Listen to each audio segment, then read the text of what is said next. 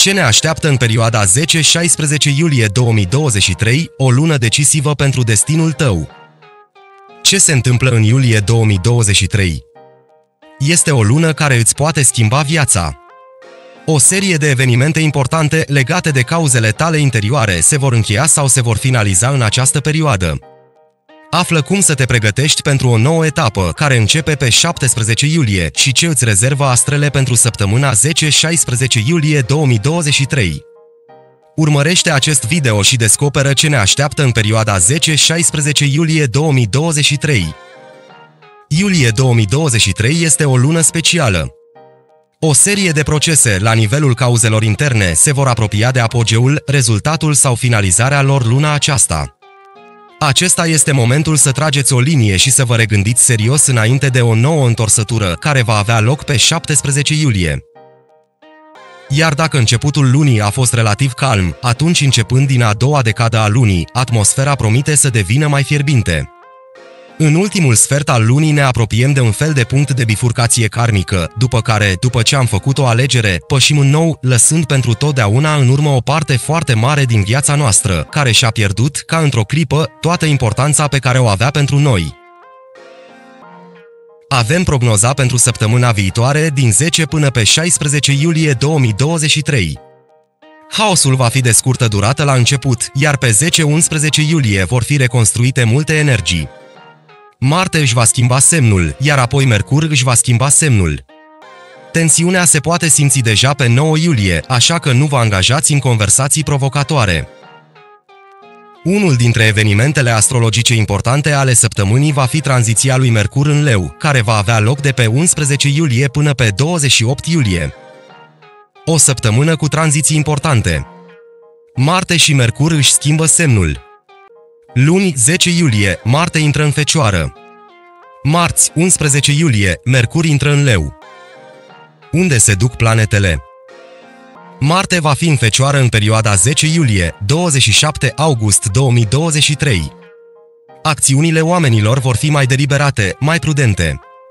Energia va fi risipită mai economic și nu oriunde, ci pentru ceva care aduce beneficii practice sau bani.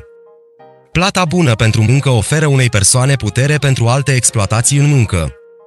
O risipă de energie duce la eliberarea energiei destructive și dăunează sănătății proprii și a celorlalți. În această perioadă este posibilă o creștere a numărului de infracțiuni, conflicte de muncă, accidente de muncă și alte accidente.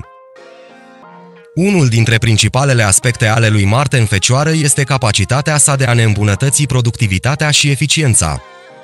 În această perioadă putem simți o dorință puternică de a ne îmbunătăți abilitățile, de a învăța domenii noi sau de a ne îmbunătăți munca. Devenim mai organizați și mai metodici în acțiunile noastre, ceea ce are un efect pozitiv asupra productivității și eficacității.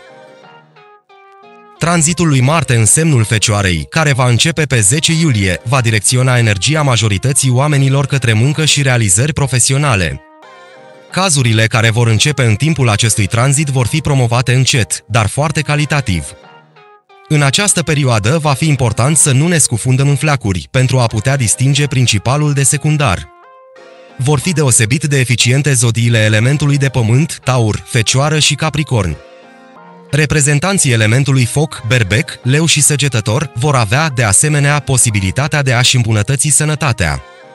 Peștii în timpul perioadei de intrare a lui Marte în Fecioară ar trebui să se întoarcă mai mult la propria logică decât la intuiție, iar gemenii ar trebui să-și restrângă cercul de comunicare pentru a nu-și pulveriza potențialul.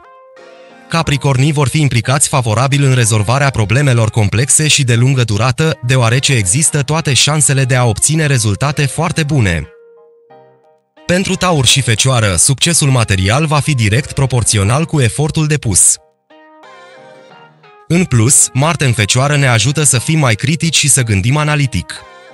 Timpul petrecut sub influența acestui aspect este potrivit pentru reflexie, planificare și evaluare a situației noastre actuale. Putem deveni conștienți de aspectele vieții care necesită schimbare și ce pași trebuie făcuți pentru a obține rezultatele dorite. Cu toate acestea, Marte în Fecioară ne poate determina să devenim prea autocritici și perfecționiști. Este important să ne amintim că trebuie să găsim un echilibru între lupta pentru excelență și îmbrățișarea a ceea ce am realizat deja. Autocritica prea dură poate duce la sentimente de nemulțumire și stres. Pe 9 iulie se va forma o configurație planetară foarte tensionată, Marea Cruce, care va consta din două opoziții care stau transversal una față de cealaltă. Aceasta este axa nodurilor lunare, axa sorții lumii și Mercur, Pluto. Această interacțiune planetară va dura până pe 13 iulie. Se poate dovedi a fi o perioadă destul de conflictuală, știrile pot începe să uimească și să strălucească cu informații foarte tulburătoare. În aceste zile, trebuie să fiți cât mai atenți posibil. Poate că vom auzi despre unele întâlniri semnificative și fatidice, decizii la nivel global. Mercur va fi în leu între 11 și 27 iulie 2023. Nici acesta nu este cel mai bun semn pentru planeta gândirii, dar aici gândirea devine mai activă, mai creativă. Adevărat, uneori poate apărea vanitatea excesivă, ambițiile nejustificate și lipsa de dorință de a-i asculta pe alții, ceea ce poate dăuna. Dar Marte rezonabil va ajuta la stoparea tuturor acestor lucruri și la readucerea la normal. Cu condiția ca o persoană să aibă în continuare voința și priceperea de a lucra pe sine. Mercur în tranzit în Leo va sprijini pe Venus aflată acolo, o perioadă grozavă în ceea ce privește comunicarea socială, autoreprezentarea, întâlnirile, deși aici doar între 12 și 22 iulie, persuasivitate strălucitoare în argumente, dacă doriți să fiți de acord cu ceva. O perioadă atât de strălucitoare când toată lumea se va grăbi să se distreze, să consume și să decoreze, în timp ce se poate, desigur, Lilith în leu poate strica imaginea, vor exista o mulțime de cheltuieli nereușite, minciuni și înșelăciune, precum și dezamăgiri. Mercur în leu pe 11 iulie înruchipează o poziție grandioasă, potrivită pentru regalitate și lideri. Stilul de comunicare al leului va fi pasional, emanând căldură și purtând un aer de demnitate și autoritate.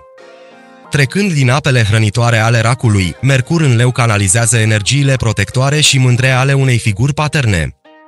Această energie este masculină și activă, inspirându-ne să urcăm pe scenă și să ne adresăm unui public larg. Intrarea lui Mercur în semnul leului pe 11 iulie va necesita atenție persoanelor cu muncă intelectuală, care vor fi deosebit de solicitate și vor ieși pe primul loc în multe domenii ale vieții. Gândurile și ideile originale vor domina spațiul informațional între 11 și 27 iulie. Succesul în profesie va fi deosebit de vizibil în rândul profesorilor, educatorilor, vorbitorilor, politicienilor și actorilor. În ceea ce privește sănătatea, cei care au boli cardiovasculare cronice și probleme de tensiune arterială vor fi expuși riscului. Și acum despre aspectele planetelor. Înainte de a schimba semnul, luni 10 iulie, Mercur va face un trigon exact cu Neptun. La sfârșitul peștilor. Și în aceeași zi va exista o poziție exactă a lui Mercur cu Pluto, stând la sfârșitul semnului Capricornului. Lucrarea simultană a aspectelor armonioase și conflictuale va crea un efect interesant atunci când Mercur, mintea umană, se va repezi între nevoia de relaxare, intrarea în tărâmul spiritual și frumos, ideal și nevoia de a rămâne vigilenți. Pentru că viața își bate joc de astfel de idealiști și dezvăluie toate cele mai neatractive lucruri din viață și din ceilalți oameni. Și aripile albe condiționate ale cuiva se întunecă brusc în mod suspect, iar aureola strălucitoare devine din ce în ce mai mult ca niște coarne de capră. Asta nu înseamnă că tot ceea ce este rău este adevărat și că tot ceea ce este bun este o minciună, trebuie doar să ne concentrăm mai mult mintea pentru a ne da seama de toate sau suferim din cauza faptului că nu putem avea încredere necondiționată în nimeni și în nimic. Opoziția dintre Mercur și Pluto marți, 10 iulie, va provoca o tendință de suspiciune, în special pentru Fecioară, Berbec și Scorpion. Dorința de a ne afirma puterea cu orice preț poate fi simțită și de leu și, prin urmare, ajunge în situații conflictuale. Capricornul, vărsătorul și peștii pot avea probleme cu transportul și echipamentele, sunt sfătuiți să minimizeze numărul călătoriilor, a vizitelor în locuri aglomerate și, de asemenea, nu ar trebui să conducă vehicule. Pot exista eșecuri în funcționarea comunicațiilor celulare, a internetului, a oricăror electronice. Comunicarea cu cei dragi în această zi va fi dificilă, deoarece incapacitatea de a vă relaxa și de a vă abține de la problemele profesionale actuale nu va afecta relația în cel mai bun mod. Problemele sexuale și conversațiile neplăcute sunt posibile în sfera romantică, precum și primirea informațiilor ambigue despre persoana dragă.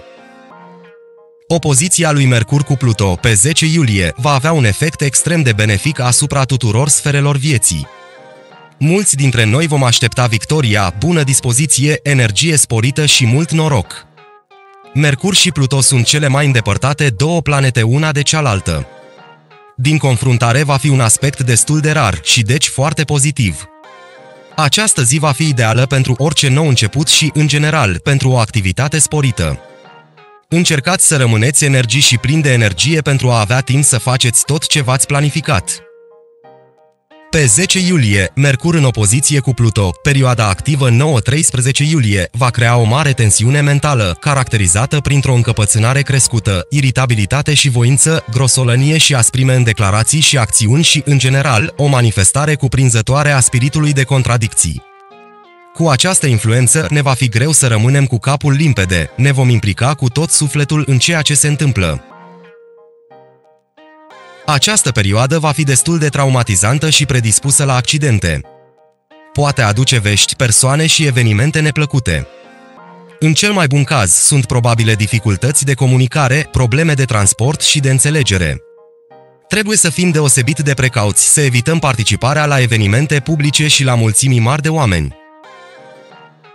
Soarele într-un aspect armonios cu Uranus va fi exact sâmbătă, 14 iulie, nu ne va lăsa să cădem în melancolie și va arăta că există fericire în viață, iar norocul poate veni destul de brusc și oricui.